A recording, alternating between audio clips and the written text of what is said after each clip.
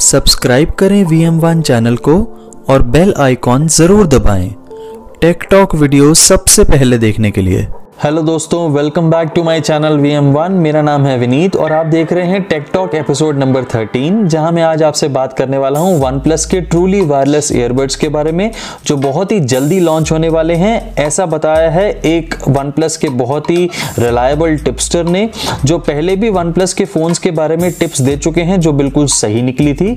तो उन्होंने बताया कि वन प्लस बहुत ही जल्दी लॉन्च करने वाला है ट्रूली वायरलेस ईयरबड्स और करे क्यों ना, सारी कंपनीज़ कर रही हैं सबने हेडफोन जैक्स हटाए हैं, इसीलिए हटाए हैं ताकि वो अपनी एक्सेसरीज बनाएँ और बेच सकें और ज़्यादा प्रॉफिट कमा सकें। तो ये एप्पल ने शुरुआत करी, आज वन प्लस भी यही कर रहा है, सारी कंपनीज़ यही कर रही हैं। तो कंपनी वही है Oppo Vivo Realme one plus सब एक ही कंपनी है ओप्पो पेरेंट कंपनी है, उनके पास टेक्नोलॉजी ऑलरेडी है और रियलमी तो अपने लॉन्च कर ही चुका है बर्ड्स एयर और बहुत ही शानदार हैं वो एप्पल एयरपोर्ट्स की ट्रू कॉपी बिल्कुल एग्जैक्टली exactly ऐसा लगता है कि एप्पल एयरपोर्ट्स पहने हुए हैं अलग अलग कलर के। तो वो टेक्नोलॉजी कंपनी के पास ऑलरेडी है बट द न्यूज़ इज़ कि वन प्लस जो अपने ट्रूली वायरलेस ईयरबड्स लॉन्च करेगा, वो एयरपॉड्स प्रो के साथ कंपटीशन के अंदर लॉन्च करेगा, यानी वो उससे भी ज़्यादा अच्छी टेक्नोलॉजी के साथ आएगा। इसका मतलब क्या निकलता है कि उसके अंदर एक्टिव नॉइस कैंसिलेशन के लिए दो या दो से ज़्यादा माइक्रोफोन्स होंगे ताकि वो एक्टिव नॉइस कैंसिलेशन बहुत ही ज़्यादा अच्छी दे सके। साउंड क्वालिटी के लिए डुअल ड्राइवर्स तो कम से कम होंगे ही। बेटर बैटरी लाइफ होगी एयरपॉड्स प्रो से। और अगर बेटर बैटरी लाइफ की बात करूँ तो कम से कम मुझे ऐसा लगता है कि 18 से 20 घंटे तो कम से कम होनी ही चाहिए। और आ, ये भी सुनने में आ रहा है कि वन प्लस इसको बहुत ही जल्दी लॉन्च करने वाला है।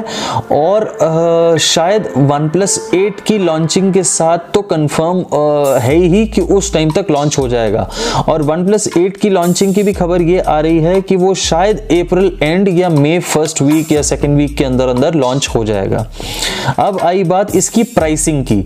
प्राइसिंग जहाँ तक सुनने में आ रहा है, वो ये है कि सात या आठ हज़ार के आसपास इसकी प्राइसिंग होनी चाहिए।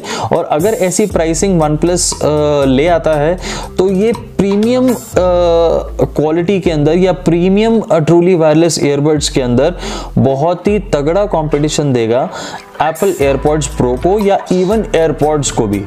तो ये अब देखते हैं इसमें क्या क्या चीज़ें और इन्फॉर्मेशन सामने आती है और जैसे ही आएगी मैं आपको ज़रूर बताऊँगा। तब तक आप मेरे साथ जुड़े रहिए। अभी इस एपिसोड में बस इतना ही। और सब्सक्राइब करिए मेरे चैनल को और लाइक करिए इस वीडियो को अगर आपको पसंद आया हो। और बेल आइकॉन ज़रूर दबाएँ। Thank you very much subscribe करें वी एम वन चैनल को और बेल आइकॉन ज़रूर दबाएँ। टेक टॉक वीडियो सबसे पहले देखने के लिए।